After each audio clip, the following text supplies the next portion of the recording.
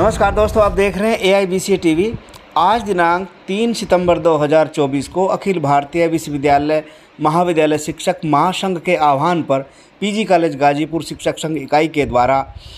नई पेंशन प्रणाली एनपीएस और यूपीएस के विरोध में काली पट्टी बांधकर महाविद्यालय प्रशासनिक भवन के सामने इकट्ठा होकर जोरदार प्रदर्शन किया और पुरानी पेंशन बहाली हेतु ज़बरदस्त प्रदर्शन किया। इस अवसर पर पूर्वांचल विश्वविद्यालय जौनपुर शिक्षक संघ के वरिष्ठ संयुक्त मंत्री डॉक्टर जे के राव, महाविद्यालय इकाई के अध्यक्ष डॉक्टर राम दुलारे,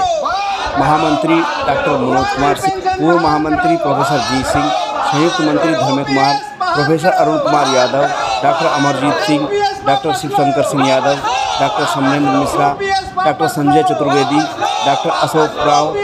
doctor Ragini Ahirwar professor Awadhesh Kumar Singh, doctor Arun Kumar Singh सहित महाविद्यालय के अन्य शिक्षक मौजूद रहे।